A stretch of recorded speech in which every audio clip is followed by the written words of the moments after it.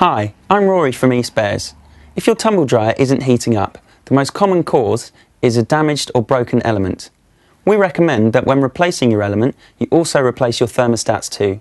And in some models, like this Bosch condenser dryer, you won't actually be able to replace your element without replacing the thermostats because they become they come pre-assembled in this part, which is known as the heater element assembly, which includes the element here, as well as the thermostats and this wiring.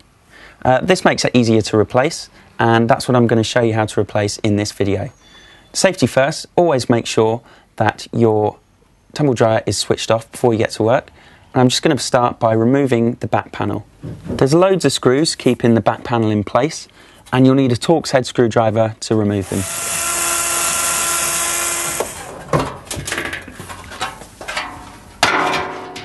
Okay, we can now see our old assembly and what I need to do is just remove these two screws here and this one holding the connector in place.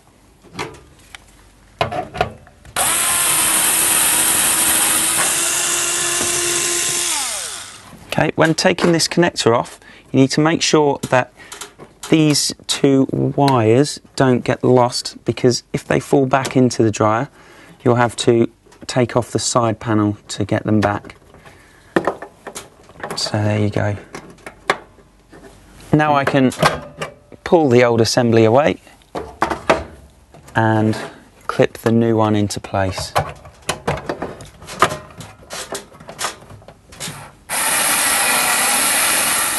can now reconnect my wires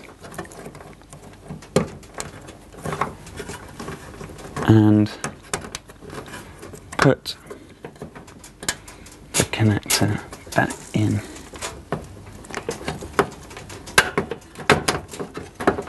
There we go. Can now screw that up. And that's the new element assembly in place. I just need to put the back panel back on and screw it back into place.